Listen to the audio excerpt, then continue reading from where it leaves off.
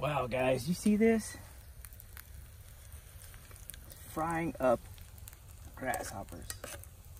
I'm Chris Thorn. That's Zachary Fowler. And this is the 30 Day Survival Challenge Texas. There's only one rule. If you want to eat, you gotta catch it and cook it. Good morning, everybody. It is day 24. Day 24. Super excited. If you have, um, you're trying to figure out like, Chris, day 24 of what? This is day 24 of our 30 day survival challenge, and you have no idea what I'm talking about. I've got a playlist up in the right hand corner, so you can go check that out. I got Zach over here. You guys got to check out what he made this morning. Boom. Look at this. We literally have wilderness chicken nuggets. Look at that. That's amazing. No, they're crickets. Grasshoppers. Yeah, cricket hoppers. Yeah, those things. Look at that. Oh, dude, this looks so good. Wow, guys, you see this? Frying up grasshoppers. Definitely, definitely need to try one of these. Oh, I'm excited. I've never, ever, ever had one before. This looks super freaking sick. I'm hungry. Join me for some breakfast. Have at it. All right, guys. So, for some people out there who are cultured and enlightened, who've been other places, uh, grasshoppers are actually very common. But uh, this is fried weesu with with with, with wadobo. Oh, fried in the raccoon fat, sprinkled with adobo. Yeah. Dude, this is like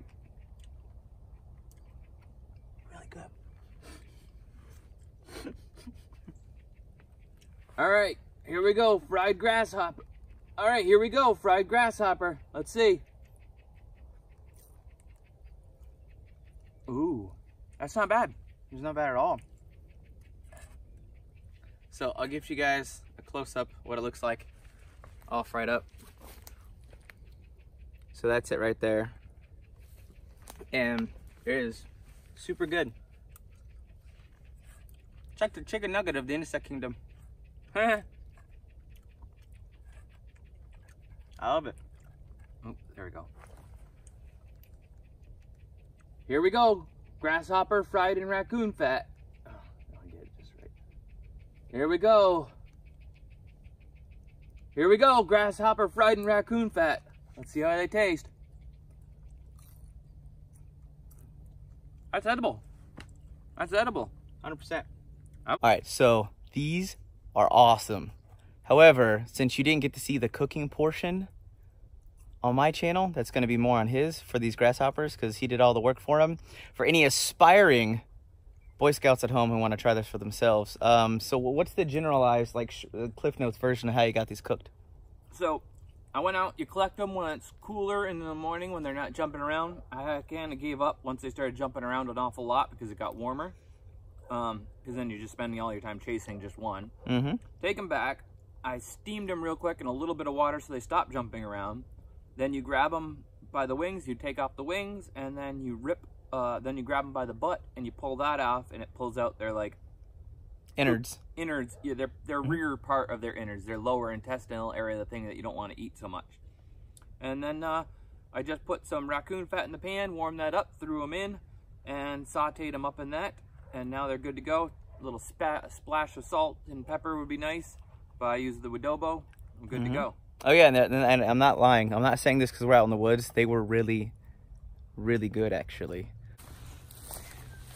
All right, guys. So, uh, I trimmed a little fat off of the hide on the raccoon.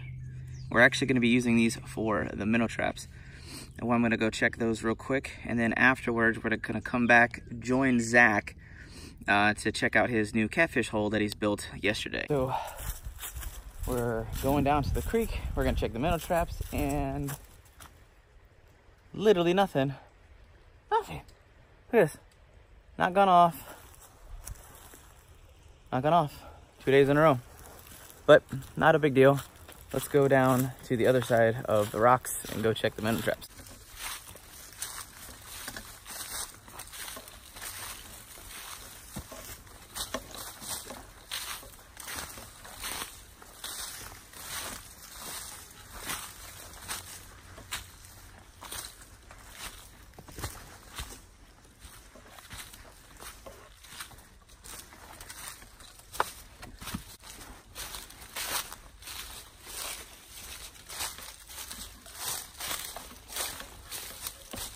Go. Time to check the lines. Whew. The leaves make it slippery. Come down here. All right, we've got, yep,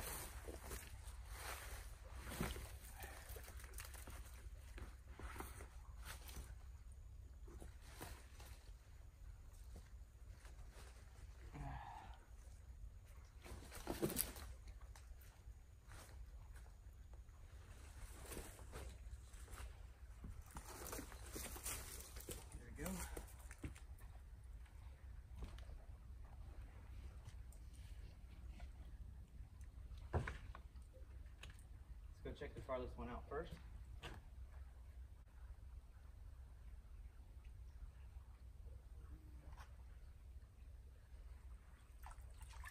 Nope. Still full of dog food.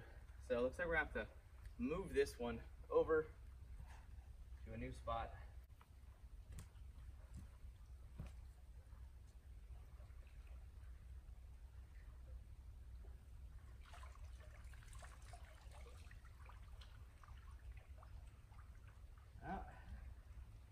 Nothing doing.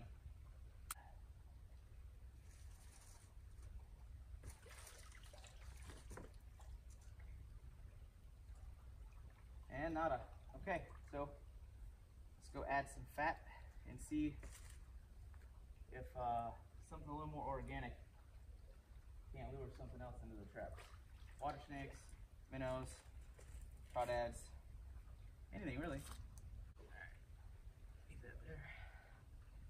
Add a couple pieces of fat to the trap. Down there. Let's drop it right on the other side.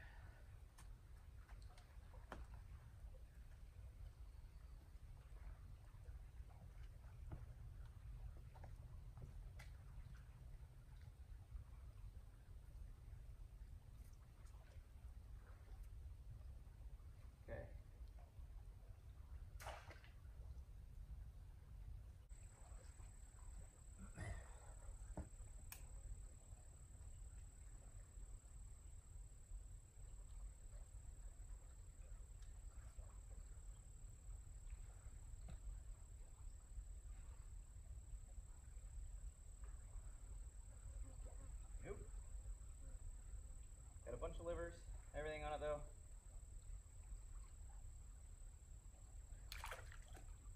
Go ahead and let that sink back down.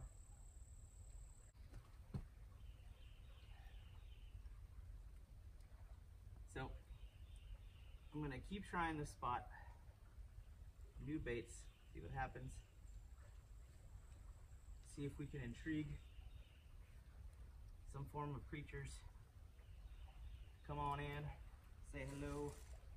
If not, we'll just move the traps, rebait them, all the good stuff.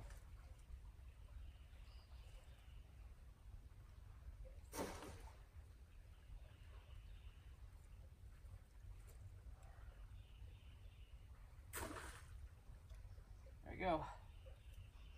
All done, all rebaited.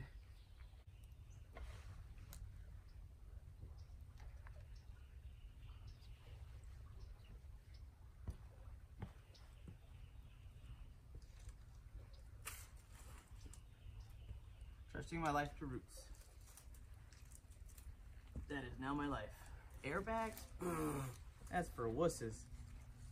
Get roots insurance. That makes more fucking sense.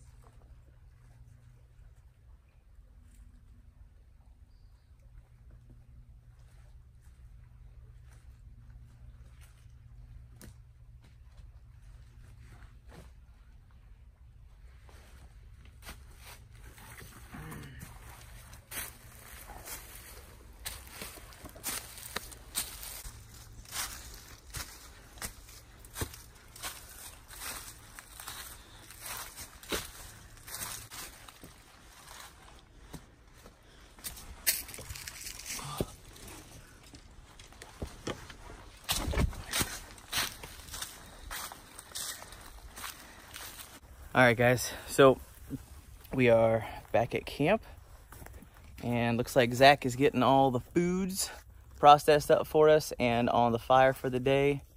So uh, you you ready to show me that top secret CIA location for fishing? Yeah, let's do it. All Let's go check it out. right.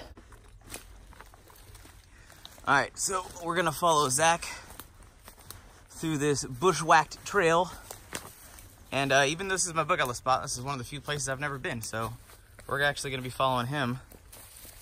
But right now, it looks like it's the hotness. Ooh, look at that creature feature. That is a hole. That is a hole. That's not for a root. That's a creature hole. Not sure what kind of creature. I don't see any rabbit poop around it, but that doesn't necessarily mean it isn't. Interesting.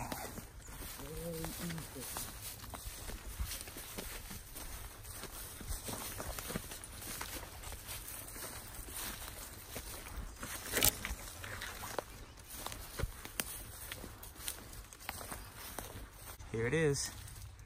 This is the super secret location that's gonna take a little bit of uh, bridge to Terabithian uh, help to get down to. So this is another section of the creek before I get down there that Zach found as you can see.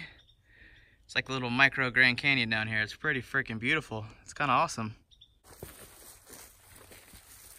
Here we go. We have arrived. Guys, this is freaking cool. This is this is a fun little spot.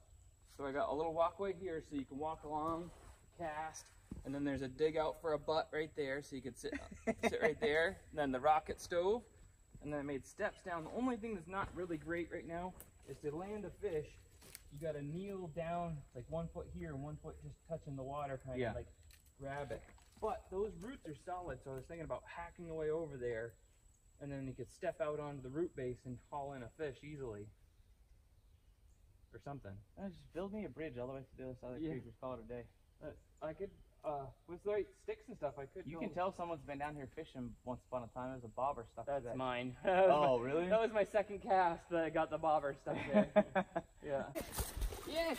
Ha Ooh, a big old cat. Nice. So we got a catfish today. That's gonna be awesome. Oh man, I'm gonna let it go down for a sec.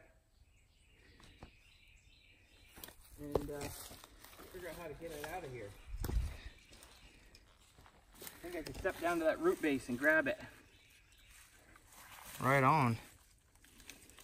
That was a great. Oh, nailed it. So this is where all the fish are. This is where all the fish are. I thought I found a Narnian spot and you found another one. You found a Terabithian spot. Don't break free. Don't break free. That's what I'm gonna sing to you. Stay right there. Stay right there. Don't lose the big catfish. Oh. No, no, no, no. Uh, ow, ow. Little. There we go. Gotcha. You're good. Got him, got him right under the gills. Oh, that was a good hooking too. Ooh, that's a nice catfish. That is a very nice looking. It's a good, what, seven pounds maybe? Five? Nah, he uh Five to maybe seven? five, maybe five. Yeah. Yeah, I could say that that could be a fiver. Woohoo! Look at that, y'all. Ah, that was Nice. on gills. I just got here. Gills for the win. gills for the win. to be able to see all of the things that he can invent and where his mind works, um, being blessed to work with someone like Zach is phenomenal, especially spending like 24 hours a day with this guy. Um, all his little tips and tricks and his little DIYs and just things that you don't necessarily think of day to day. It's freaking, it's freaking magical. Woo! Here we go. Look at that guy right there. That's my hand, just for reference. I mean, he's it's gonna be some good eating. I'd say we nailed it. Oh yeah, I mean, we haven't even started yet. It's just Yeah. the results of hard work from This last is, time. Yeah, this was caught on gills, and uh, that's what I've only been able to really catch anything substantial on so far is with uh, gills in this location. So I'll rebait with gills, and hopefully we keep catching them like this. All right, guys. So we already have a catfish. We've already rebaited the lines. We're gonna go hack a path down here. We're gonna go check the other night lines he left out and just keep on with our day because there's no sense in spending the whole day here when there's a risk of actually spoiling the food we've already got. So let's take the wind and get that thing cooked up.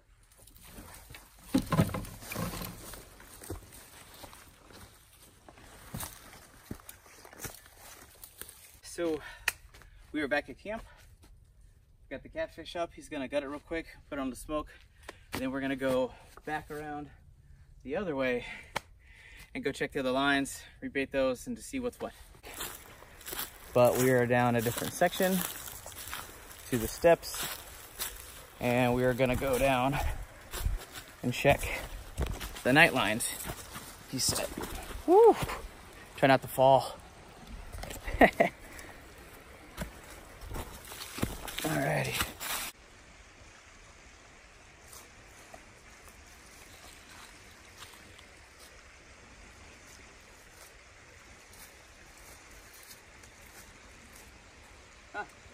I even lost my sinker rock. But there's still liver on there.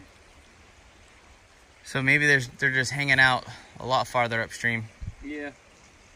I'm not even gonna change these. I'm gonna save the gills for the more promising places. Got a rock, guys, look. Yeah. That thing is huge. Protein. I'll put some hair in your chest.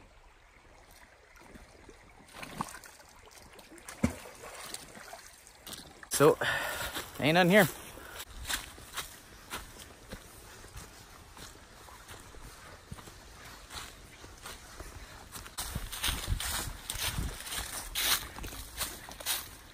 nothing on all the other lines. And this one being the only other one that I've caught a single little catfish on, I'm gonna rebait the gills on this one. I only have enough to do a certain amount of lines.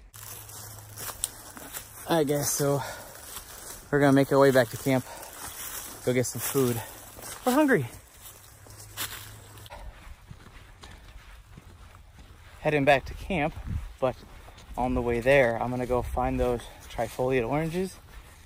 Zach's gonna go fill up the water bag at the creek, and then we are gonna actually take the oranges, put them inside the catfish, and have kind of like a orangey, lemony zested catfish. Oh, I'm excited.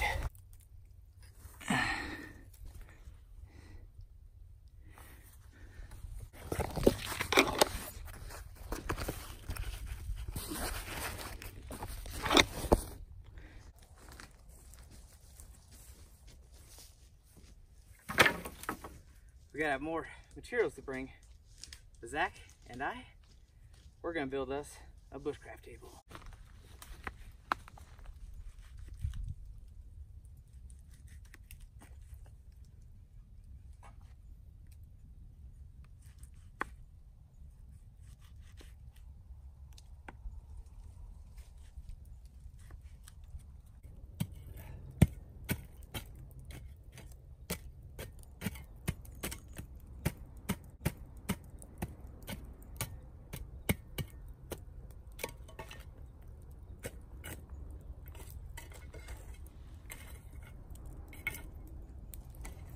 Ooh, dropping them.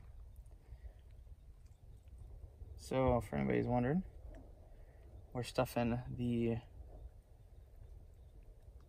oranges into the catfish to kind of give it a internal marinade. It's gonna be really, really, really posh for survival. But we got it, and we might as well use it and enjoy it.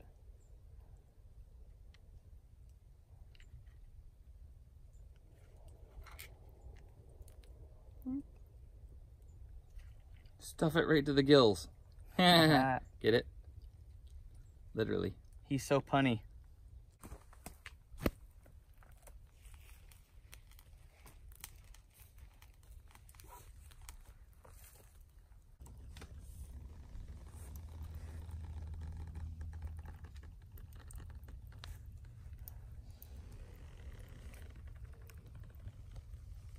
Here's up.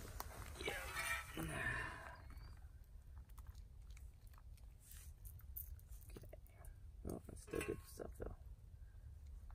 Oh, guys, this looks so good.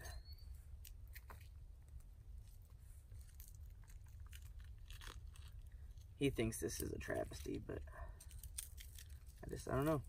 I like just to eat. Hot? Yeah, a little bit. I'm pretty sure it's gonna stay warm for you for a while. Mm. There's so much food. and I'm dropping it. Here, why don't I hold it for you? And then you can rake it off the direction it wants to be raked off, kind of more like that. Yeah, there you go. Teamwork.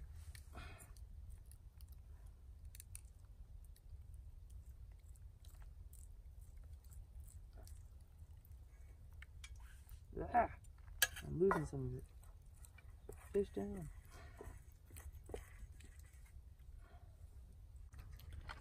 All right, so that's my half of the catfish. This is a ton of food. I'm Probably gonna go in a catfish coma, but I'm gonna lay mine a little bit onto the coals just for a few minutes, just to make sure everything cooks all the way through, since it was cooked whole.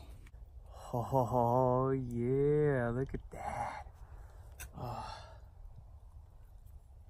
Just got off the fire. mm.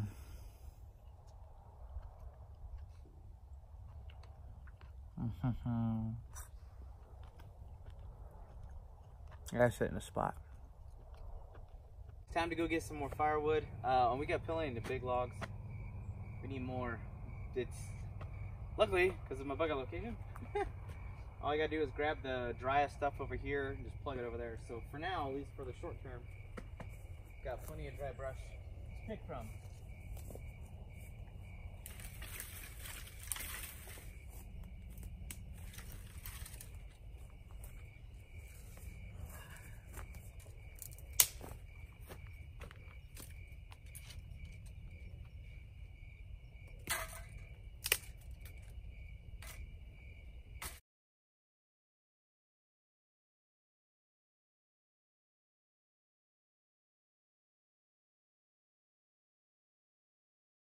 We're done collecting firewood and the conquering hero returns. Got my snare set up.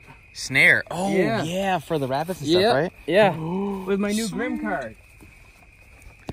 Grim card. How did you get that out here? I got a drone flight that came in with my new custom Grim card. I'll show you. All right, there's my new custom Grim card that came in by drone just now with the uh, Fowler. It's a collaboration with Grim. I had come up with a trap card idea for a while ago that we talked about, and they came up with this. And it's got spinners and fishing hooks, knife, tick key, and a poker to poke at things if you get thorns and stuff stuck in you.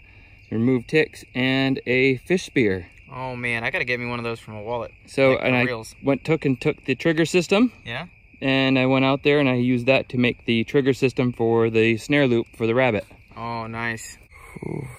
So, we got to do something interesting that we don't get to do very often, which was eat when the sun was out. That was very, very interesting. And uh, it's actually pretty early. It's about 8.30 at night, and I think we're going to use that to wake up early to try to get some stuff done, kind of capitalize on our remaining, ready for this? Starting tomorrow, wham, five days left. Oh man, I'm super amped that we've made it this long. That we're gonna is gonna be a huge milestone for me. It's 25 days living 100% off the land. Super epic.